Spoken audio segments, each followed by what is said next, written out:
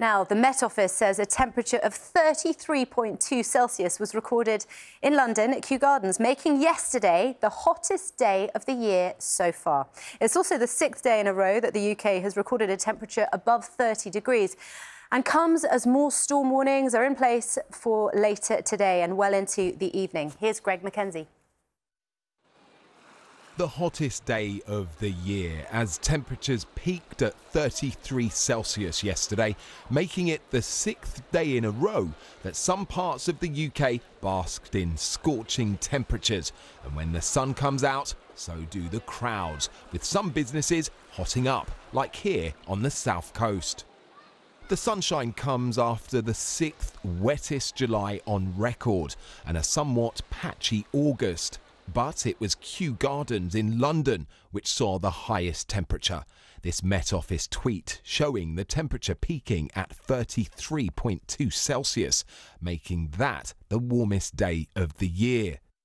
The current heatwave is the longest run of 30 Celsius September days on record, and while some hide indoors, others have taken to lakes across the country, like these people in Denham. It's just so refreshing. We we actually, my husband and I live in London, and it's a busy week and it's very hot. And then we get a moment of relief when we pop into the water.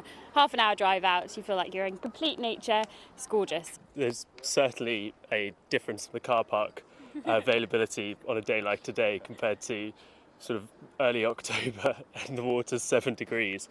Uh, yeah, yeah, I'd take a day like this over one of those any any time. Scientists claim heat waves have become more frequent, more intense, and last longer because of human induced climate change. But you know, as the saying goes, all good things come to an end. The Met Office have issued a yellow weather warning for thunderstorms for most of Northern Ireland, parts of Northern England and Wales, and parts of southern Scotland from mid afternoon today until tonight. Greg McKenzie, BBC News. Oh, it's been very toasty, hasn't it? Lovely. yes. It? Perfect garden weather. If you're if you're lucky enough to have a garden or the park nearby, it's gorgeous. I suppose so. I was stuck on a train for six hours oh, really? with no aircon. It was a little toasty. We can enjoy the view, the beautiful, you know, sun-kissed hills and fields as you go past. Yeah. Mm.